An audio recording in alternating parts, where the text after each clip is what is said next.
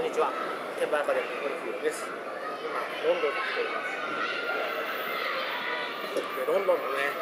えー入国審査で今までいろんな国に入国しましたけど、えー初めて根掘り葉掘りというかね、えー3ヶ月後に出国するのかってその間何してるんだって言われました。ないや何してるってあのロンドン入り口にして、まあ、パリとかね、えーリヨンあるいはポルトガルに行くんだって言ったらああ収容か収容かって言われたんですけど、まあ、これね英語できなかったらどうなんだろうと思ったんですけどちょっとしんどかったです。下手したらなんかしどろもどろになると、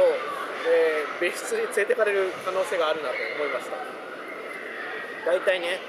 日本人は普通どこも大した質問もせずにえ入国できるんですけど今回の、えーロンドンの入国は今までで一番